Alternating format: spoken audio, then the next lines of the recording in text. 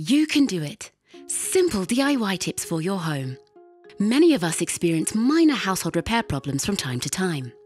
The You Can Do It instructional videos provide you with simple tips on how to carry out minor DIY jobs within your home. How to unblock a sink.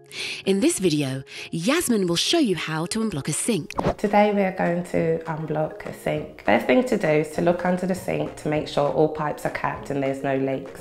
To make sure there's no leaks when plunging, it's best to lay a cloth or a bowl underneath the sink to catch any water. A blocked sink is a common household problem. To tackle this problem, we're going to be using a plunger.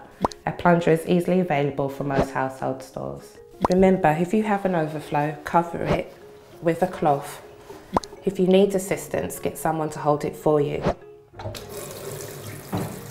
Place the plunger over the plug hole and then gently move it up and down. The best way to check the sink is unblocked is to put the plug in and fill the sink with water.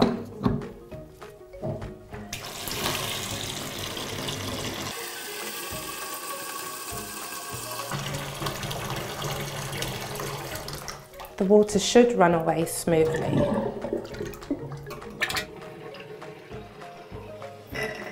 Common causes of blockages include fat, oil, hair and food.